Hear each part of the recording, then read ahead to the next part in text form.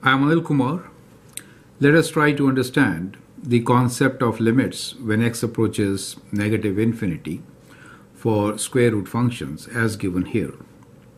The question here is let f of x equal to square root of x squared minus 2x plus 3 plus x. We need to evaluate limit when x approaches minus infinity for the given function and then we need to explain the meaning of the limit calculated. You can actually pause the video, answer the question, and then look into my suggestions. Let's begin with understanding the meaning of the limit which we are trying to find. So we are trying to find limit as x approaches minus infinity for the given function. Now this limit may exist or it may not exist, right? So both are the possibilities. So if it exists, then what? If it exists, in that case, this limit as x approaches minus infinity for the function f of x will be some value. Let's call it L. So it is a value which the function approaches as x approaches minus infinity, right? So that is basically the horizontal asymptote, correct?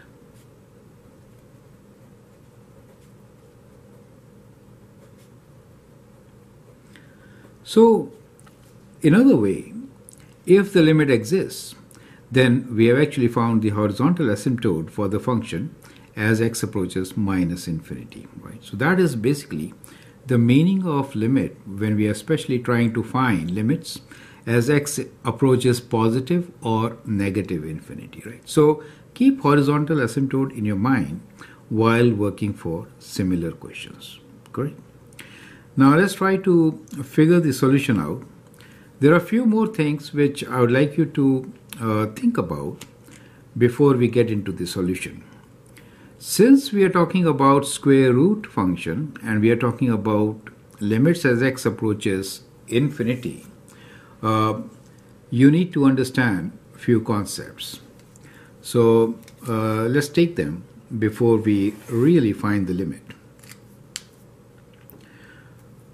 One of them is what is square root of x square equals to? Now, if you're thinking that square root of x square is x, then it is incorrect. Square root of x square is, is a positive value always. It is absolute value of x, right? So that is kind of very important to understand. Since in the solution of this, we'll get across definitely square root of x square, since that term is within the square root, right? Now, we are also talking about limit. So so now the second question is, so this is my first question, which now you know that square root of x squared is absolute value of x. The second question is, when we are talking about limits, in context to limits, limit when x approaches minus infinity or plus infinity, I wrote plus, so let's talk about this. When we say limit x approaches infinity, what is the value of absolute value of x? And also think about this. Limit when x approaches negative infinity, in that case, what is the value of x? Well, these are very important questions to answer. So, some of you might be really surprised to know that these two limits are different. When we are approaching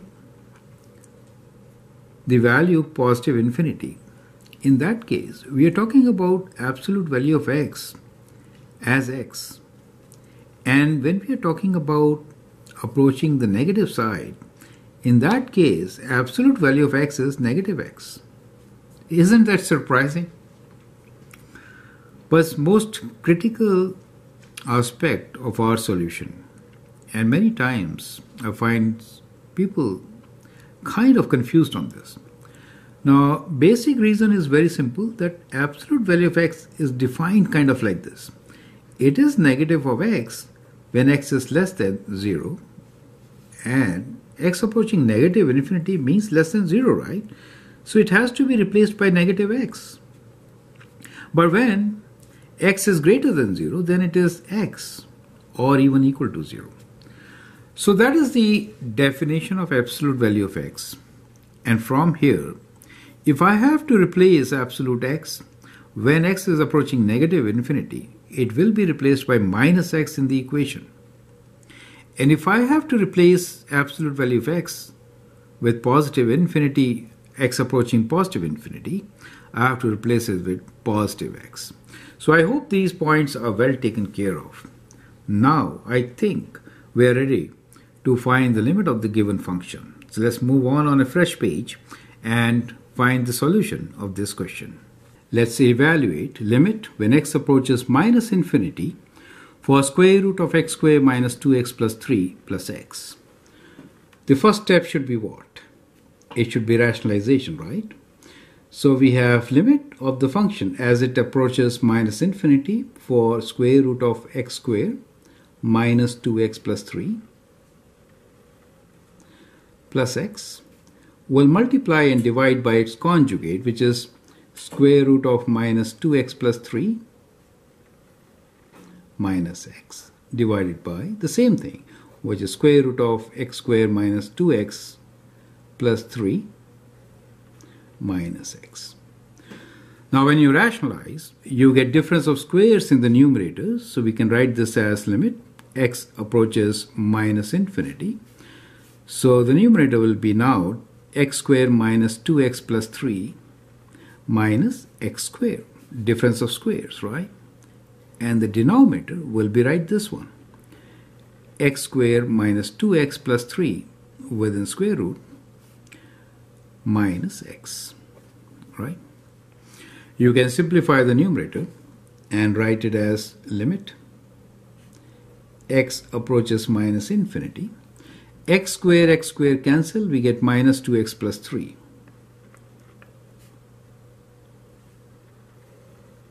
and the denominator is square root of x square plus 2x plus 3 will factor out x square here. Right? So when you factor out x square you get 1 minus 2 over x plus 3 over x square right?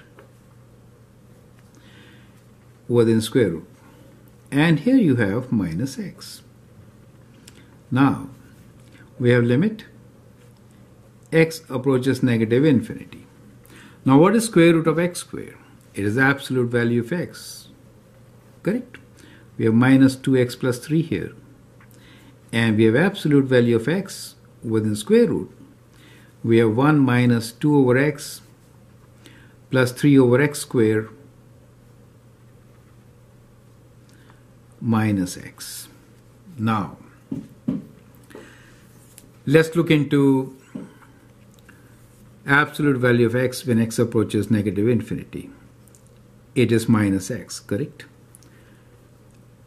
It is minus x. So now, I could write this as limit x approaches negative infinity over minus 2x plus 3 divided by minus x within square root 1 minus 2 over x plus 3 over x square minus x. Is this point clear? So as I explained to you earlier, so we're talking about limit when x is approaching negative infinity. So absolute value of x will be replaced by minus x, correct? So that's what I did at this stage. Perfect. Now we could take minus x common, right? So, and get our result. We can get limit x approaches negative infinity. Here, if I take minus x common, I get 2 minus 3 over x, right? And here, if I take minus x common, I get square root of 1 minus 2 over x plus 3 over x square within square root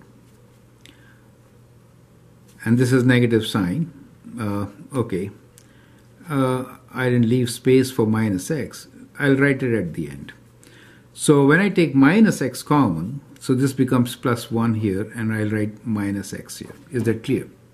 So what we did was that we took minus x common. So if you take minus x common, you get the square root term with plus 1. So I wrote square root term with plus 1 times minus x. Clear? So now you can cancel these two things. Now think about it. If x is a very, very large number, then 3 over x will be 0, 2 over x will be 0, 3 over x square will also be 0, right? So what do you get?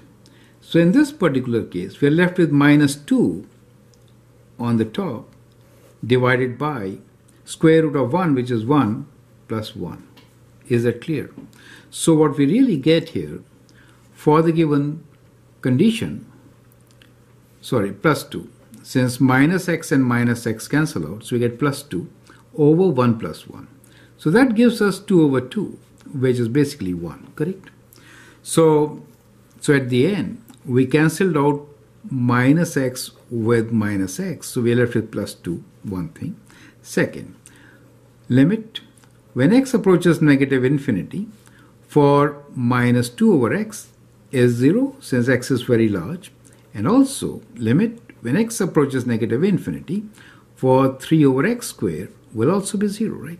Anywhere where x comes in the denominator, for a large value of x, it is going to approach 0.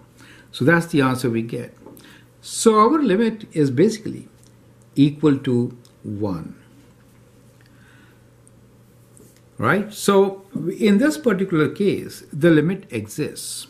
Since the limit exists, we can actually also explain its meaning, right? Getting back to our question now. So let's get back to the question and answer it. So are supposed to find or evaluate the limit of this function as x approaches minus infinity.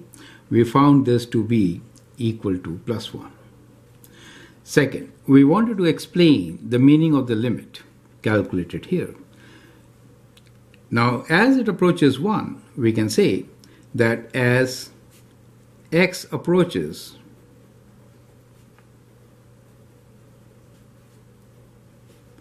negative infinity, f of x approaches 1. So, we have a horizontal asymptote.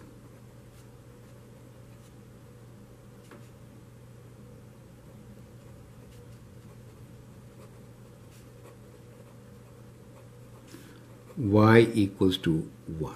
Is that clear to you? So that becomes the answer for the explanation of our limit. So I hope you understand and appreciate how to find limit of such functions and what does it signify. Now it's very important also to remember these things which we started off with. Square root of x square is absolute value of x and depending on whether you are approaching positive infinity or negative infinity, absolute value of x can be replaced by x or negative x. And then you should be evaluating the limit. It's a key parameter to get the right answers. I hope that helps. Thanks a lot and all the best.